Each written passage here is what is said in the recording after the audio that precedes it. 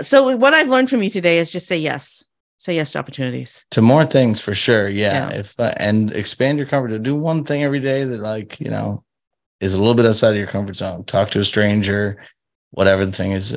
Uh, maybe that's not a great one if you're a kid and don't talk to strangers or whatever, but you know, do it safely, you know, where like live life put the put the bowling alley bumpers down for like, you know, one frame or something like that and see what happens.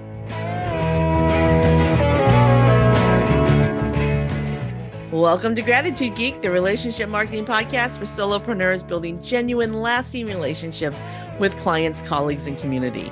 I'm your host, Kandas Rodarte, and today we are joined by the world's number one failure, Ben Currier. Ben, aka the failure guy, is an Excel expert, podcast host, and public speaker. He was fired from every job after college, but he has found success by sharing his stories of failure with others. His podcast reaches a global audience and ranks in the top 0.2%. 0.2%, y'all, of all podcasts. Ben has 15 years of experience in corporate finance and is a four time Microsoft MVP for Excel. He has created one of the top online Excel courses and has over 25 million minutes of Excel training content. Despite his early career struggles, Ben has learned from failure and now inspires others through his podcast and public speaking. Welcome, Ben. Please don't tell me we're going to spend the whole hour talking about spreadsheets. We definitely won't, but I love how much you messed up the intro, and I am happy to be here. Blooper is baked into the episode now. I like it. blooper Um, reel, blooper reel. So, uh, yeah, no, I don't want to talk about spreadsheet. Nobody ever wants to talk about spreadsheets, but actually, Okay. one time I did accidentally. Um, sometimes I'll I'll join a meeting and I don't know if I'm the host of my own podcast. I'm guesting on someone else's. I'm just talking to somebody. So I thought we were just um to chat about some stuff. But he's a big Google Sheets guy, and we were doing. I ended up being on like a, YouTube live sheet talking thing. So besides that, where we did talk about spreadsheets for an hour, um, most people don't want to do that. So uh, yeah, I'm happy to talk about anything else. So But, i- i- um, is your go ahead. lack of is your lack of scheduling and and making notes on your calendar the reason why you're the number one failure guy? No, definitely not. It's Okay, just uh, table that. Ta- let's put a pin in that because I have a question I need to ask you first. hit me with it. Please tell us your story. How did you become the world's number one failure guy? Okay, so um I'd say it took me probably five jobs of being fired before I realized I was fired from all my jobs because in corporate America a lot of times you can lie to yourself, you can lie in future uh, interviews and stuff like that. So I was always telling some story about how I was pivoting in my career or whatever. I'd make up some things to explain the gaps in my uh you know employment history uh either I'm moving across the country or whatever the thing is. And then after five of them, I was like, oh, wait, I didn't choose any of these. They were not more than one person things. It wasn't like being laid off. It was, I've been actually fired from all my jobs. So I'm like, okay, I should probably do some investigation as to what's going on there.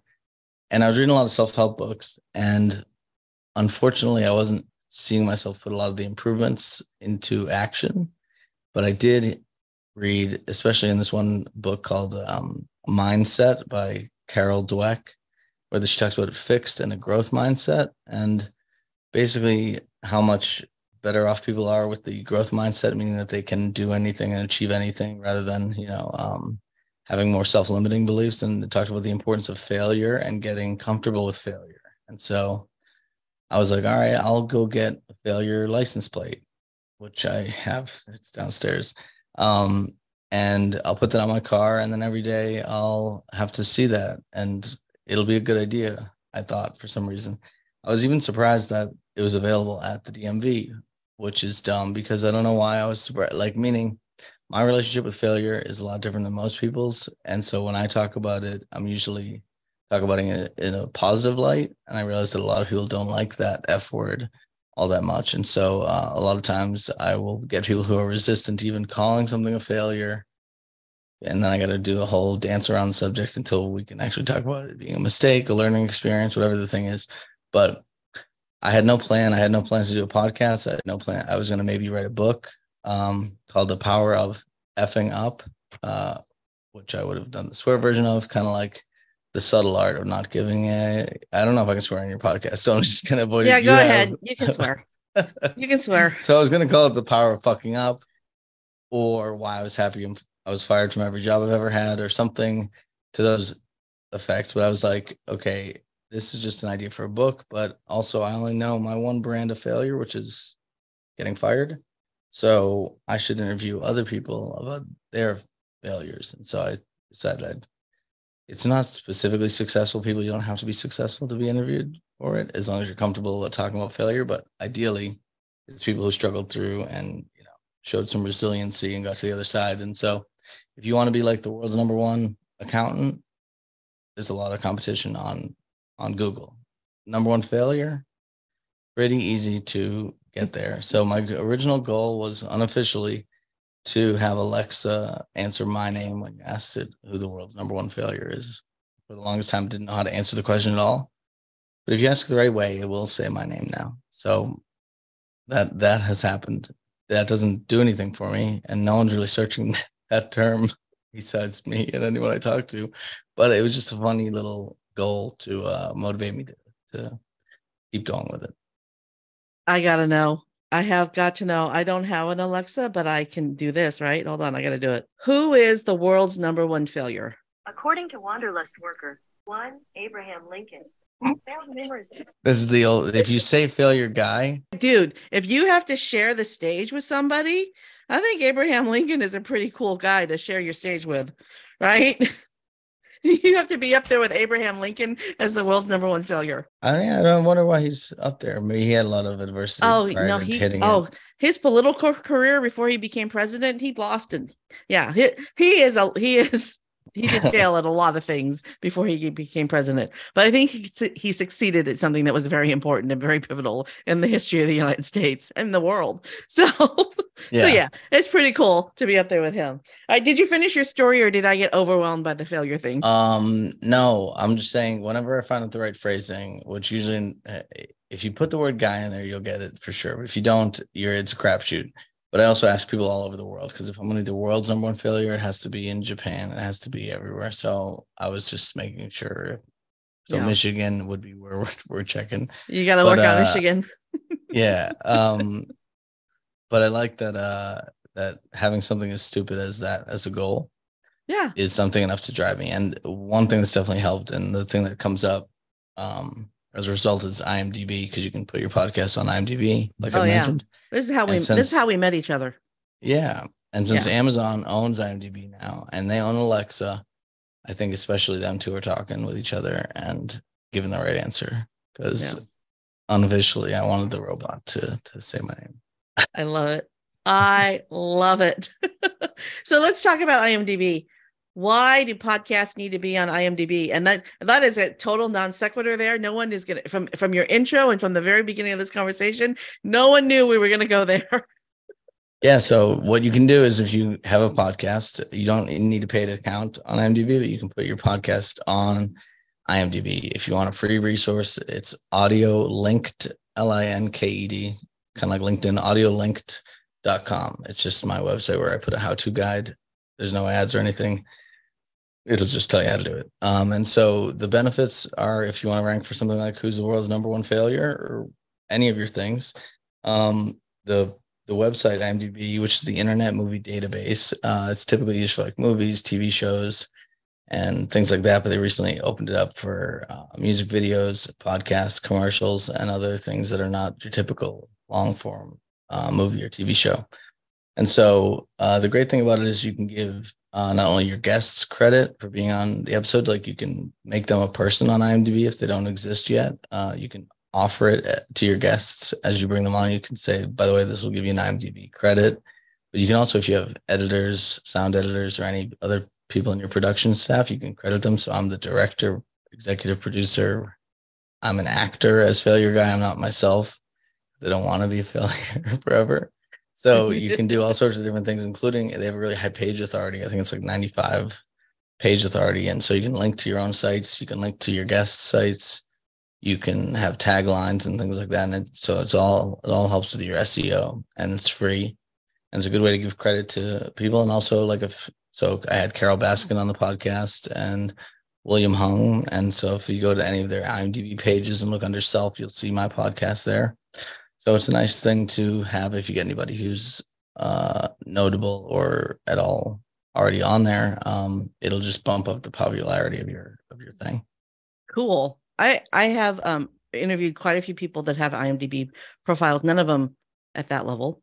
Um, but it's it is kind of cool to then click it you know you add them to as a guest on your show and then you click it click their name and you can see everything else they've done so yeah. it's it's an it's nice the way that database is linked and you know it's a database so you know something a little bit about databases that's true yep and the only thing i've had rejected so far is i tried to give arnold schwarzenegger a special thanks because we did terrible impersonations of him in one of one episode and that got rejected but because other than that, which it should have been rejected, it should not have gone there. Uh, but other than that, I've not really had much that didn't get past the uh, the folks. So now my stuff gets uh, accepted much more easily. It's kind of like Wikipedia.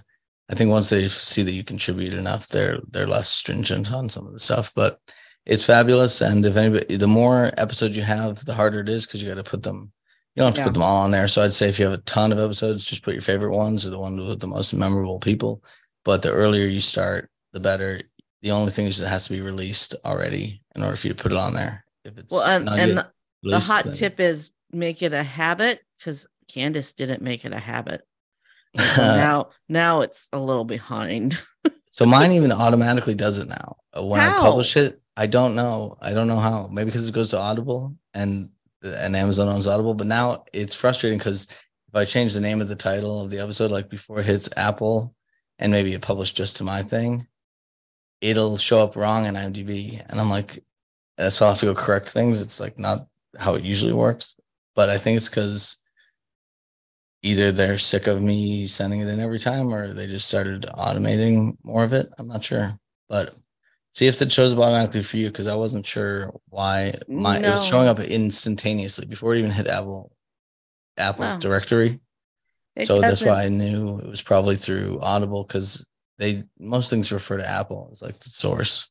Yeah, maybe you have a better you've um maybe you link to your Audible link. I don't think so. I don't know. I didn't do anything what? different. now least, I'm very curious. I'm very curious because um I show up on Audible. I do, so I'm very curious.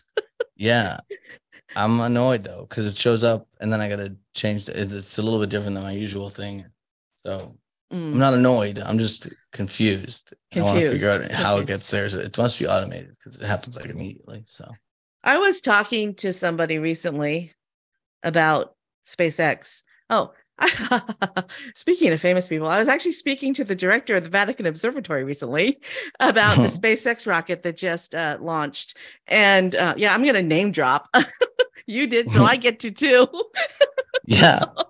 so uh, we were talking about how the SpaceX uh, flight recently exploded in midair. Mm-hmm. And that everybody was talking about how it was a big failure, and SpaceX was all excited about the explosion. And I think you have the same mindset as SpaceX, which is an engineering mindset, which is a science mindset, which is failure is good. Because if you don't have failure, that means you're not experimenting hard enough, that your theories aren't out there.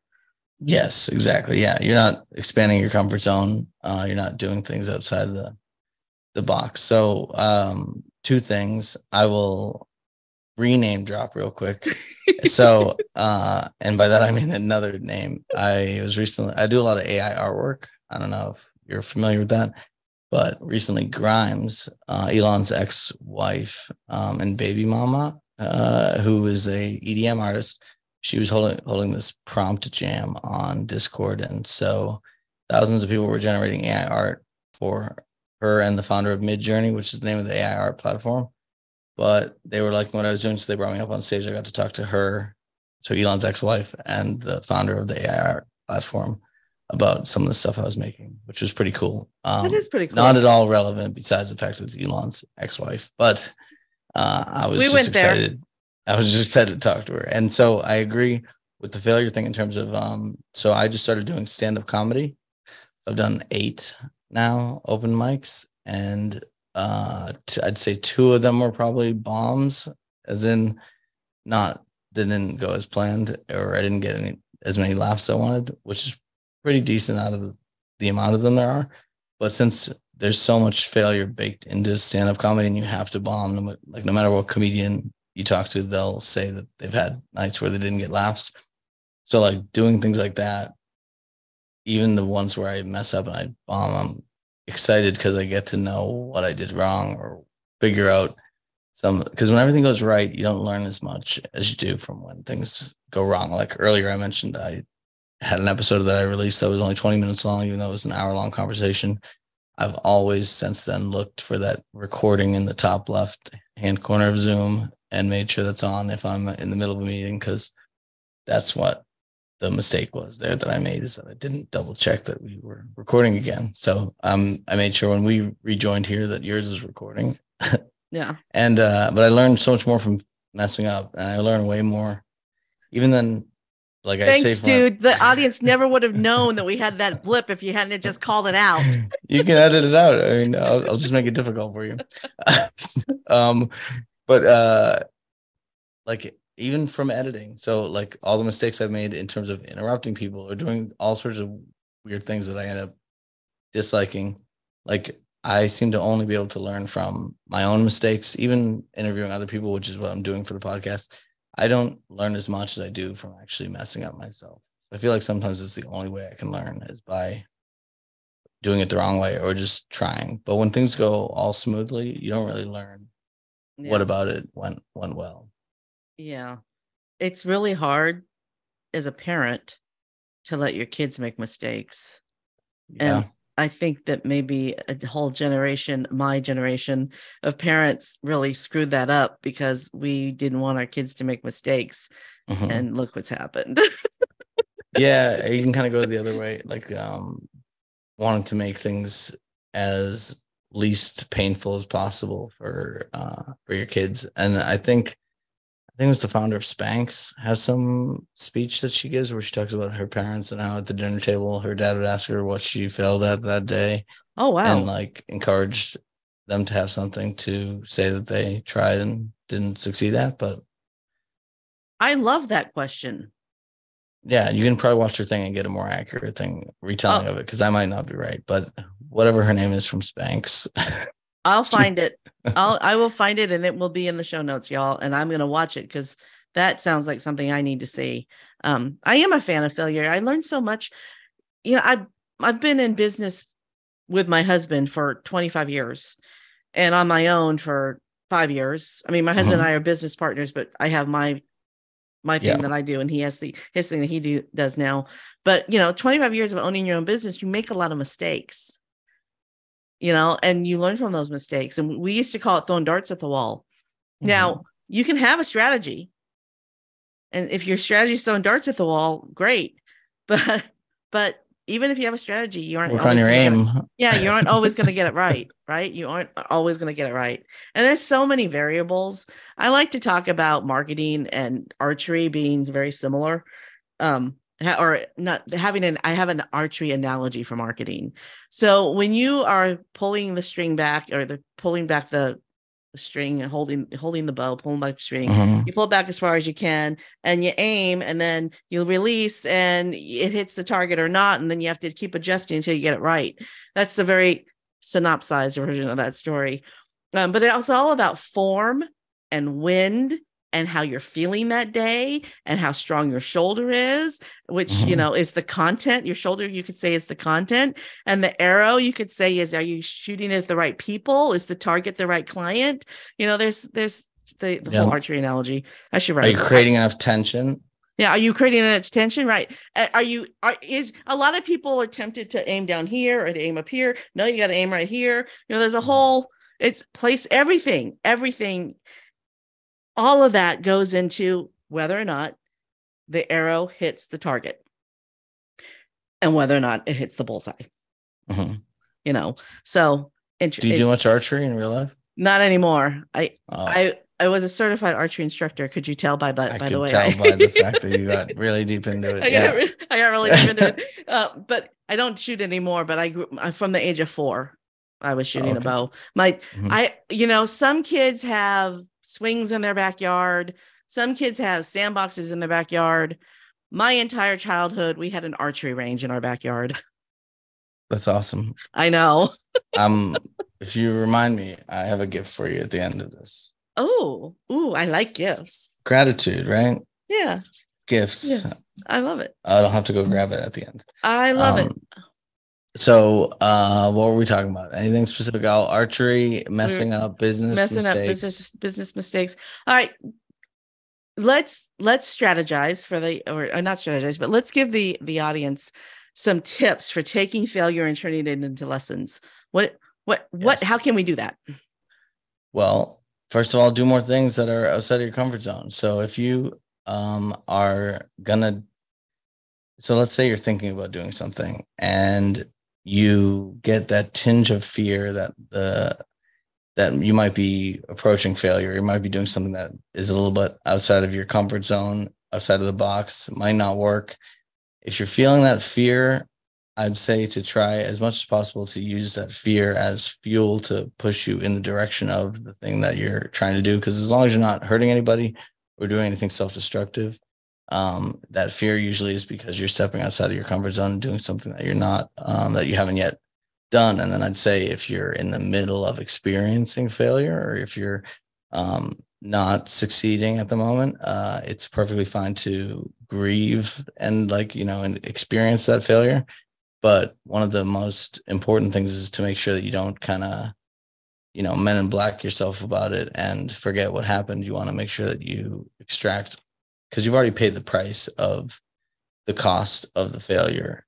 You want to make sure that you can extract all the lessons that you can from that. So kind of having like a post-mortem almost on your failure uh, once you've given it time to not sting so much because you don't want to immediately you know go past the feelings of actually experiencing it. But also uh, at some point you need to go okay well what happened there? What went wrong how can i learn from it and then i'd say like one of the better things is in the future let's say you have a successful podcast that you recorded a full episode and the last one you didn't uh, when you have the good one pat yourself on the back and say i wouldn't have maybe done this properly if i didn't have that prior mistake and so try to recognize when you're having a success what other mistakes you'd built on to kind of get to that point.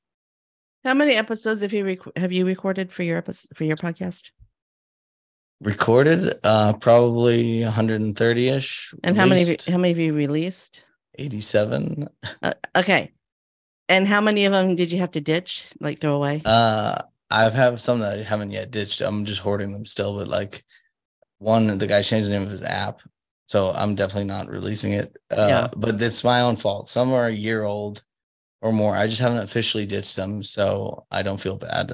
Uh but But they're what- let's say probably 10 out of the 40 plus will probably have to go because they're either irrelevant or uh the quality or something about it is just uh is I'll have to either redo it like rebook it with that person or just get rid of it and scrap it totally You're this is probably episode 180. I don't know the numbers because I'm not I've one of the things that I'm letting go of is the perfectionism of having to release my episodes in the same order I recorded them. oh now I- is that now- something you did That's something I did. So now I'm releasing them in the order that I think they need to go in. gotcha And so I'm not numbering them anymore. So I, I don't know where we are, but I think you're about 180. Mhm. And I screwed up your intro in three different places. All right. So repetition is great. And you just have to let it go. If you screw up, you screw up. You know, failure is part of the process. You know, and I'm sure that you have the same issue. Yeah. Um, uh, one that I like to mention is Scott Gazzoli. I called him Scott Fazzoli, which is like a a bad fast food Italian place, um, depending on where you're living in the United States. Um, but I leave that in and I leave it in. I've I messed up so many names that I know, and I know the name too because I know them pretty well. But a lot of times I won't even try to look up the right pronunciation. Like Stephen Levine, I said Levine or it doesn't matter. I have the way to check these things out. A lot of times I will avoid doing research in in some way. Like in my brain, I'm uh trying to keep it less biased, but really I just am lazy. And so if I don't go hear all the things that they like to talk about, I won't necessarily be drawn towards talking about those things. But also I just don't like uh, I as you know, I have a lot of my own episodes I haven't released. Yeah. I don't have time to listen to a lot of 50 of podcasts. There Yeah, 50 something that you haven't released? Forty. I haven't. At one point, it was thirty-seven, but I would just keep recording more. So, I- Uh, I I've had I was I don't guest on shows very often, but in the last couple of weeks, a couple of guest episodes though uh, where I was the guest have been released, and I haven't had a chance to listen to them, so I can say thank you to the to the host yet. and I well, feel one thing guilty. that I I did recently, and um, I got the idea from. Uh, I'm not gonna try to say his name. I'll, I'll forget it. But um, make a so Spotify playlist of all your guest appearances, and then you can share that, Yeah, which I hadn't done yet. So I I recently went through all my guest appearances and added them to if they were in Spotify, I added them to a playlist that I could then share because I was like. I don't have this uh, documented really anywhere. And You're now I have, the like a second person who suggested to do that, and I I don't use Spotify to listen to podcasts. I use Good Pods because I love that. I love Good. Pods too. I was using Good Pods earlier to listen, but I'll just add it to. Can you make a playlist on Good Pods? Oh, I don't know. So what I mean is like I will make a short link to my Apple link and my Spotify link because those are the two major ones Yeah. that people listen to, and then I will personally listen to usually on Good Pods. But I do have Spotify Premium, so I figured I'd make a playlist of my guest appearances because I don't know how you can do that on Good Pods, but you probably can create a collection or something. It might be called something else. Good Pods is such a fun platform. If y'all in the audience, if you aren't listening to podcasts via Good Pods, you should because it's a great way for you to talk to the host of the show. Like chances Yes. are, if you leave a comment on one of my episodes, I'm going to comment back. Right? If you follow Yeah. me, I'm going to follow you. So because it's it's like it's like Facebook for podcasting, only better. Yeah, You know? I met a uh, at Podfest. JJ, who started it, was there. She's awesome. I got to meet her, and uh, I've always liked Good Pods. It's nice. It's got a nice little commenting and functionality, and uh, I just that's the one I go to usually. For a while, I was using Stitcher, but um, only because I was paying for the premium, so I didn't have ads on one of my favorite podcasts. I was using Stitcher forever, and then they have my feed messed up, and they have the art wrong artwork on my feed, and they won't let me. They won't let me log in to change it, even though I had an account, you know, a, a creator account, and so now I'm mad at Stitcher, so I don't want to listen to the pod podcast on Stitcher anymore. Isn't that petty That's of me? No, I have those beef, those kind of beefs as well, where I just am like, I mean, all right, seriously, well, it's the wrong graphic. It Why hurts do you me not more have than it hurts Right? Yeah. it hurts me the- more than it hurts them. Ex- Exactly. exactly. but, The but Good yeah, Pods is fun. yeah, it's I a always great way to find new episodes. Okay, go ahead. No, you're good. I'm saying, uh, I'm just saying, I agree. I was listening to Akimbo. One of the, one of the few podcasts I listened to is Seth Godin's Akimbo, and I was listening to that on Good Pods earlier. Oh, I didn't know he had a podcast.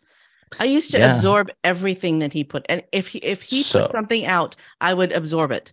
But it's been a you while. have got to check out Akimbo. I have to catch up, A. K I M B O. All right, Uh, it's every on my list. Wednesday. He he does not script a word of it. Um, per me asking him, he said he didn't, and uh, basically it's always gold. So I'd say I that's one of the ones I never miss. I'll catch up at some point. I mean, I'll miss it for a Yeah. couple weeks, but I'll eventually catch up. Uh, but it's only like uh, thirty minutes or less, and it's all him by himself, and then answering questions from uh, listeners. And I've had a two, one or two questions answered on the podcast. Have you? So you how do you submit the question? Uh, I think it's akimbo.link is where you go. And But I then you even mentioned just my failure guy podcast. I was like, I'm starting a podcast called the Failure Guy Podcast, blah blah blah. And then I got a guest through that too, who reached out to me because I mentioned the name of it.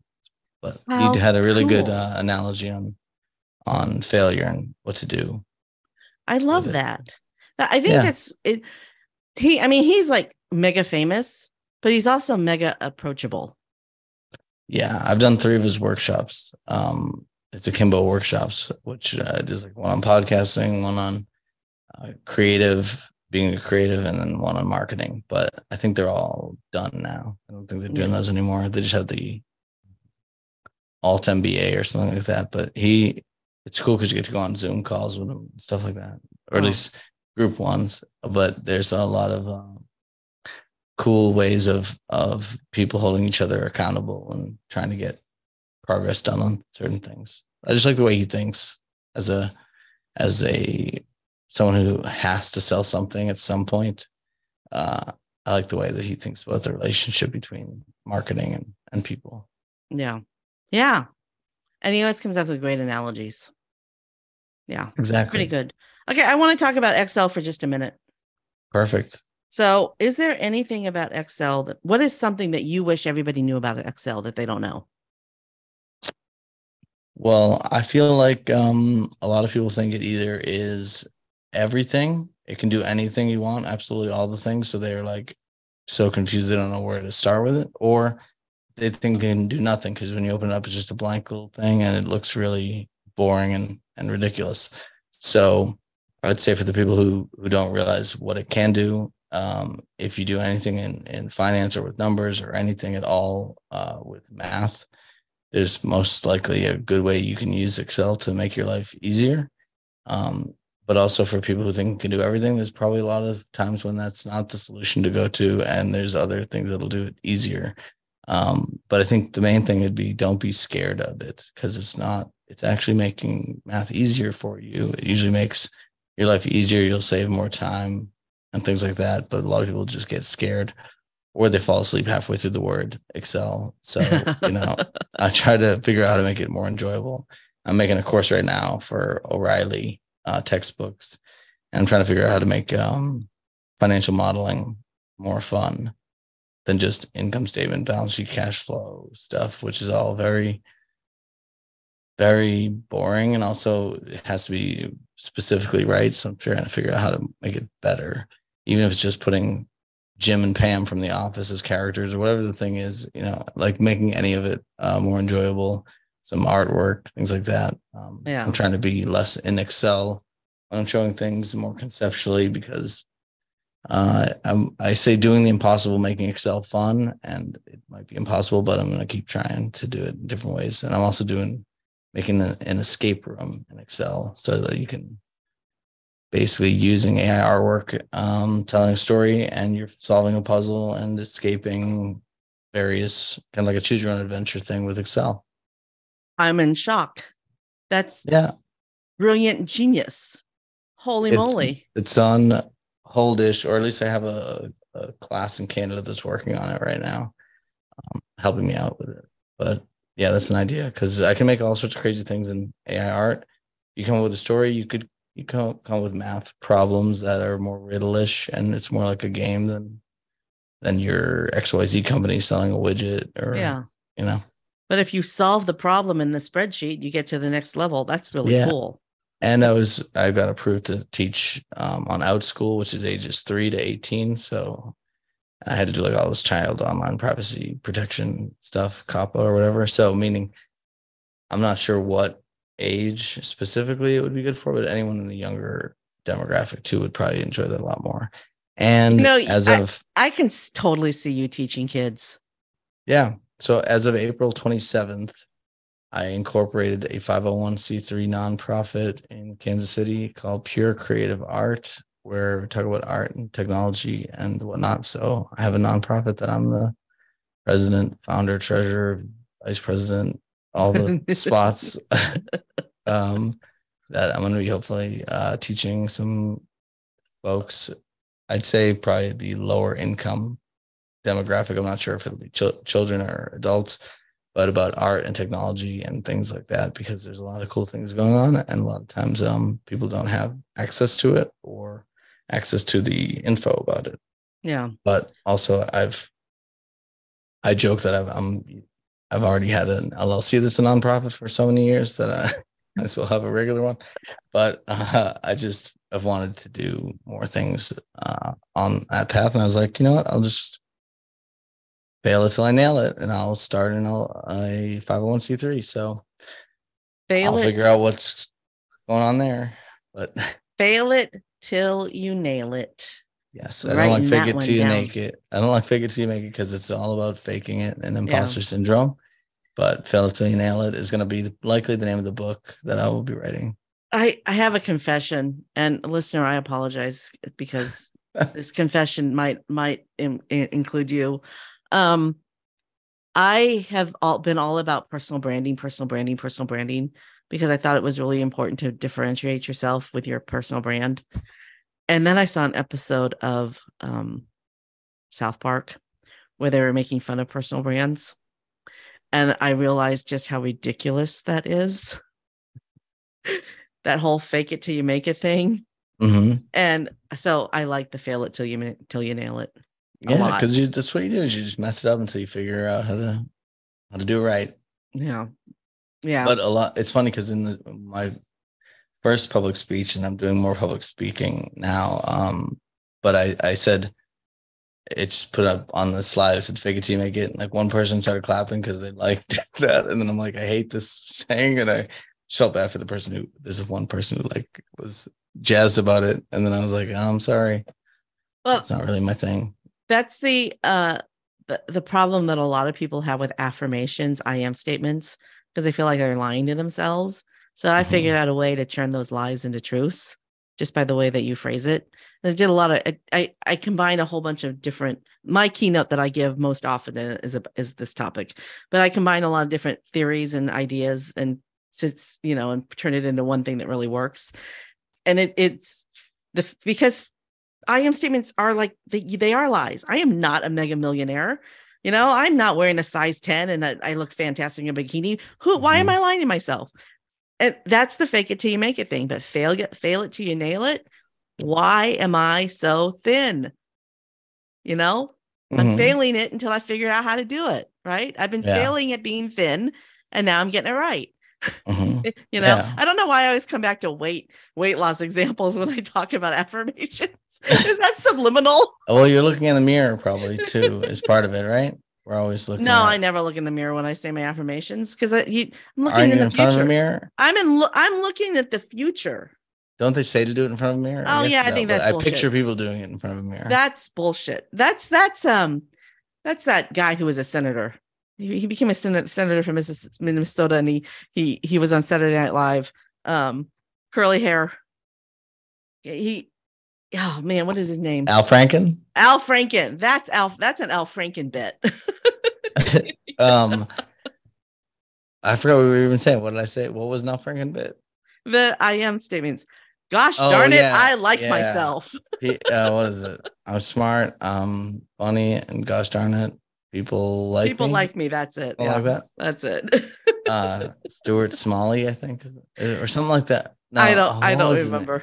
Ah, I'm gonna. Yeah, you- everyone's you like yelling at their thing, like. the Al Franken I am statement meme will be in the show notes, y'all. um but i i think the same thing you're saying or instead of i am you could say i will be a Mm, millionaire or whatever mm? I, I have a better way. I have a better way. It's you. why am i you- such a millionaire you you phrase it as a question this and I I, not a I millionaire? learned this from a from a guy came named Noah St. John. So Mhm. you phrase it as a question instead of saying affirmations, you ask yourself affirmations, and an affirmation forms the idea in your mind. So when you say, "Why am I a millionaire?" your brain goes to work and starts to So answer the wouldn't be, question. why am i not a millionaire No, why am I a millionaire? That's then- even more confusing to me Bec- no, because then your your brain is like, okay, the reason why you are wealthy is because you purchased a house and you didn't, you know, over you didn't over mortgage you, and that created generational wealth through the mortgage. You invested your money, you started a business, you, you know, you did, you know, you you, you come up with all these ways in your ha- Mhm. head to make money by answering the question, why am I a millionaire? And then eventually, when you start taking inspired action on those answers that your brain produces, that's when the Mhm. money starts to come in. So it's the inspired action that leads to the affirmation. So it's a, it's a process. Just staring So- at yourself in the mirror and saying, "I'm a millionaire. I'm a millionaire." You're never going to become a millionaire. You don't you don't do anything until you take action. You have to fail, right? You have to fail over and over again before you win. Mhm. absolutely It's What you I I wonder if you have thoughts on this on this. I was thinking about this the other day. People who get their Oscars on their first or second film.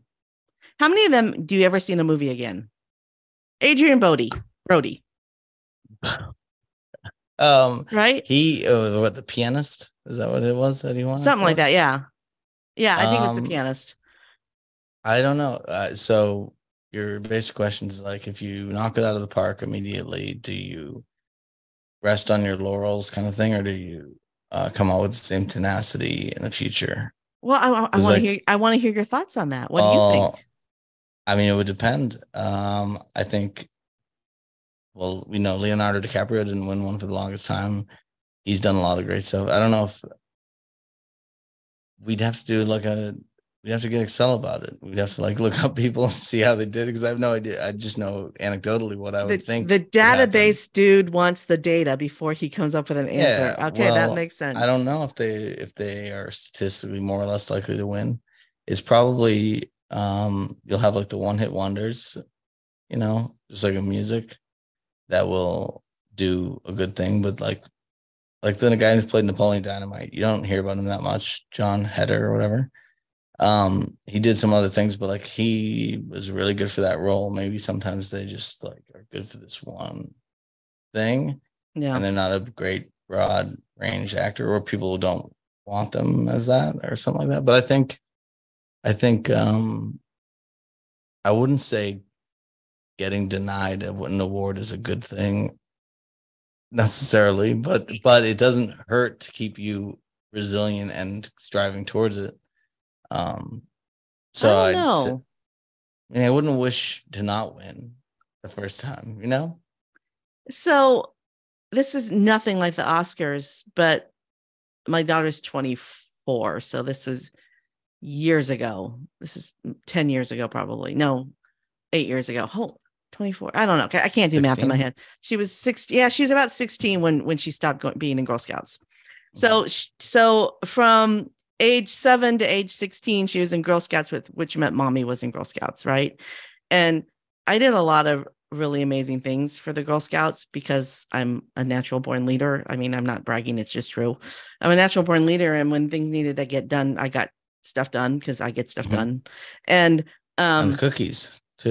a lot of cookies. but but I fully expected to get the award for leader of the year, Girl Scout leader of the year, and I never did. Not once. Not once did I ever get leader of the year. And then my daughter wasn't in Girl Scouts anymore, so there's never ever going to be an opportunity for me to get leader of the year, even though I probably deserved it more than any other leader. right? I'm not. I'm saying. I'm. In my know- book, you are the leader of the year for the Yeah, Girl Scouts. but- Whoever but- won, But you know what? The lesson there is to do the work anyway. because I Mhm. got the uh, if the award didn't exist, I would have been doing the work anyway. Yeah. You know, so do the work anyway. If it makes you happy, do it anyway. The award is just like ice cream or ice cream with your cake or you know, it's an apple pie with the ice cream, whatever, you know. but you want an apple pie with your ice cream, or you want ice cream with your whatever. yeah, you do want if We do ice want cream, the award. if the ice cream is available, hell yeah, I want the ice cream on my pie. But if it's not, I'm going to enjoy the pie anyway. yeah. With the Oscars and myself, I'd say if you're in the top six, you already won. Yeah. Yeah. To be nominated, to be nominated, yeah, that's that's pretty re- remarkable. There's a lot of people who didn't get nominated. Yeah. Yeah. And I wonder how much of that is writing. Because you were talking about how that it was that role. Oh don't- yeah, exactly. know? Like it, because the actor's just a vessel for the script. for the script. Sometimes. Yeah. yeah. I mean, that was a well written role. So of course she won the Oscar. Right. I think it's a of course. combination of, of course, of some of and- those things. Sometimes just the universe comes together for with things, you know, it, it's the right time. The timing Yeah. is right or whatever. But I don't know. I, I I think we give away too many awards. Well, what would you? So I, I give every guest a get out of fail free card. what would you do with it if you could do it? So like I used to say stand up comedy, but now I'm doing it. Um, but there's a lot of failure involved. So is there something that you would do, a hobby, a passion, a career? Oh, we're on the topic. I was really into theater in high school, and when you know when I was in college, I helped out with a children's theater. I was a stage manager for a children's theater, and then I just sort of let it go, and I was pretty good. And I wonder if I'm I could still do it. So yeah, give me a role in a movie, What would you be? That- Mar- Marvel villain? A Marvel villain. Oh, thanks, a 53 year old. Yeah, why not? Why not? No, I'd want to I be in something more sci-fi. I mean, Marvel is fantasy. I want to be. I don't more- like Marvel movies. That's just what I Yeah, usually say. I'd want to be This is s- something funny. more more sci-fi, right? Uh, Yeah, you some, could be, some space um, thing. you could be a time traveler. A time traveler would be cool too. but so, but something I want to be in a spaceship. Yeah, I want to be something on a spaceship, Hell yeah. and it can be an alien. I wouldn't mind being an alien on a spaceship. oh, Yeah. okay. Yeah. That'd be fun. Uh, I think it'd be awesome. I, I feel like I wouldn't be able to learn my lines Yeah, yeah. I can't even well, remember my jokes when I get up on stage for stand up. So I'm like, I don't know how good I'll be at But memorizing exactly what to say. the reason why I have a podcast is because when I was a kid, I wanted to be an actor.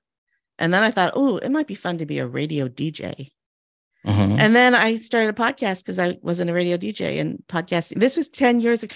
Ben, I've had a podcast for 10 years. So That's I started my podcast 10 years ago after my I had a YouTube talk show for 2 years before the podcast. I did Mhm. all that because you can and it's something I always wanted to do, right? Yeah, So totally. failure, right? Yeah. Did and I uh, so that- did you do college radio? No, I actually had. So in college, I had two friends that worked at the radio station, and I don't know what prevented me from saying, "Hey, get me a job."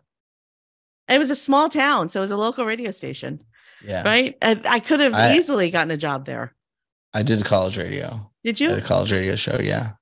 This wasn't a but college. This was the local radio station, but it was a very small town.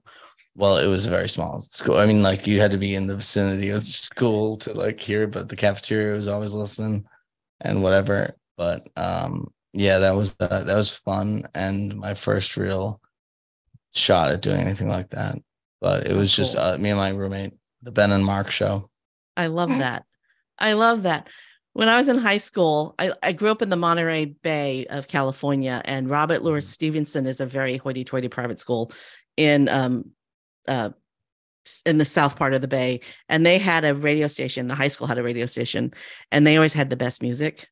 So Mhm. that's the station I would listen to. I wouldn't listen to the other the local station where my friends worked. I listened to the high school radio station because I liked British. I liked new wave, and they they played pop and R and B. nice. That's awesome. Yeah, I, I I loved it. It's really cool to see behind the scenes. We even had like some guy come in and play on the acoustic and stuff. I mean, it was a fun time, and I think I'd want to try. Uh, I was just in LA, um, and I was just I did stand up in Hollywood actually. Oh, how um, fun! on Friday, so like a week, a little less than a week ago. Um, but I was thinking I would want to try at some point acting and see how it would be. But the memorizing the lines would be the tough part for me for sure. Yesterday, Not and not just the acting. Obviously, I don't know what the hell I would do. I, I don't have any background in it. So you have theater background, you'd know. Y- but it was so long ago, dude. I don't remember any of it. I mean, and I, the two years I did it, where it was, you know, it was semi-professional theater. I was a stage manager for a children's theater. What was kind of Yeah. cool though was some of those kids were on the local PBS station, um, and a, there was a children's television show, and some of them were on that show. They those kids loved me because I was this 20, 20, 21 year old, you know, with a convertible, and their parents all trusted me, and so they would like, Kandas, can you take us to the zoo? Sure, I'll take you to the zoo. So I had to be hanging out with all these 12 year olds, which was fun. Do you The think crazy- you can handle acting on a green screen? Because if you're in space in a spaceship, you're gonna need to be Oh, yeah, why not? dealing with Why not? fictional How is- aliens. and stuff. How is that any different than having a green screen for my podcast, right? It's not. do do you have one? No, I don't. I don't because I like my artwork on the back of my wall. I know that most so it's people tell- different in the fact that you don't do it. yeah, but but most you know most people say don't put artwork on your back. You have have a nice clean wall, non-distracting. I'm like screw that. I want It's people. To, I want people to see what I am. Yeah. I didn't do this on purpose though. I just haven't. I moved here in, in January and I haven't put anything up on the walls yet. But I usually would have. Actually, I've got an alternate setup downstairs that I'm using for the uh for the Excel training right now. So like my failure license plate, all my other background stuff, I have down in the basement. Oh, Um, fun. But yeah, and I just got off a cruise. Um, the last thing I'll say is I just got off a cruise of dentists. Smiles at Sea is what it was called. A cruise. I'm not a dentist. I'm not even. I don't even like going to the dentist, but I'm doing a lot of stuff. Um, and I'm going to be doing a uh, a public speaking competition for the dentistry industry in August called Dentistry's Got Talent, and I'm going to be competing against William Hung and some other people Is it like a TED talk off, basically. how, how did you get hooked up with the dental industry? Uh, so in, at Podfest, I met um, DJ Smiles, who is also he used to be in dentistry, but he does this thing called Smiles at Sea, which we just had last week. Um, and it's a dentistry industry event, and so they're all getting continuing education credits for it. But I don't do anything in dentistry, so I was just uh, hanging out during the day and just doing a lot of networking. But um, I'm going to be uh, competing in New Orleans in August. And so basically, it's everyone does a 10 minute TED talk kind of thing. And it's for a larger audience of dentists and judges. And then if you beat your little cohort, which would be like uh, a group of like five people, so it's 30 total. If you get to the next round, it's just um, judges and they're all speaking scouts. And uh, you have to do a five minute one there. And I was talking to the person who won in 2019. They used to be a dentist. Now they're a full time international speaker, and they're going to coach me for free. Loren King is her name, L O R E N King. And so I've been doing all sorts of weird networking and stuff, and uh, and then I missed two flights this past weekend, so a lot of failure around my travel travel plans, including falling asleep at the gate and then waking up. It was a different city than Kansas City I was like, no, I already Oh missed a different flight yesterday. Oh no. Wow. so Wow. I learned a bit. And I I promised I would tell everyone never to fly Spirit. So if anyone's up there, I did not have a great time on Spirit. So take that. I wish you'd asked me first. I would have told you that. They're not a sponsor, right? I'm not no, stepping on your no. No, um, yeah. I know, everyone told me that Spend already. the extra hundred dollars, people. Yeah. You know, you will anyways on the bags and you Yeah. won't realize it. just spend the to. extra hundred dollars. Don't even. They So don't. I- des- they don't deserve you as a client. I made it back on a United flight. I still had a, another Spirit one leaving later that I could have taken, but I wasn't going to make it back to my concert in time. And I had a meet and greet ticket to a concert. So it was just such a, and I did all this work and then I fell asleep in front of the gate. And then I had to get another one. I was like, oh my, but I made it with five minutes to spare for the meet and greet. So wow, that's impressive. literally five minutes. So Yeah. Uh, You know what? In the long run, you'll probably figure out that there's a reason why. absolutely. Yeah. So what I've learned from you today is just say yes. Say yes to opportunities. to more things for sure yeah, Yeah. if uh, and expand your comfort to do one thing every day that like you know is a little bit outside of your comfort zone talk to a stranger whatever the thing is uh, maybe that's not a great one if you're a kid and don't talk to strangers or whatever but you know do it safely you know where like live life put the put the bowling alley bumpers down for like you know one frame or something like that and see what happens Yeah. Vinny Potestivo invited me to a networking event and you were there. And that's how I met you. yes So I said, of course, if Vinny invites you to something, you say yes, right? Yeah, if it does anything, I'll say yes. I'll be like, I don't care what it is. Sure, I'm down for it. So, so that's how I met you. So I said yes to an opportunity and you were there. So um, if you could pick one marketing tool, tip, or technique, what would it be? um, is to look at sales instead of um, like any kind of financial transaction or anything related to making money or um, or anything like that. I'd say is to look at sales as earning the right to make a recommendation. So finding out enough about somebody so that you can recommend something that they can use, whether it's your service or someone else's. But like until you find a need that you can fit or like that you can help um, fulfill, you shouldn't be trying to sell somebody something until you know that they need whatever it is you have. So the objective of sales would be to get to the point where you understand enough to then make that recommendation if that's what you're trying to do.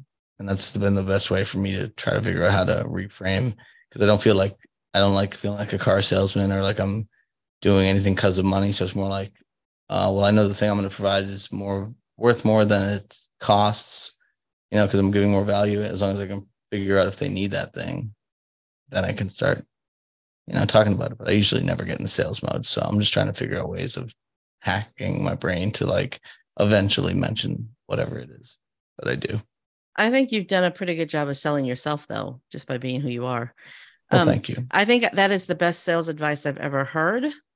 Oh, wow. So, yeah. So thank you for that. I foresee me teaching that to somebody else in the near future because that that one of my one of my secrets to success, success is that if I learn something, I teach it. hmm Yeah. Because why why not share everything you know? Yeah.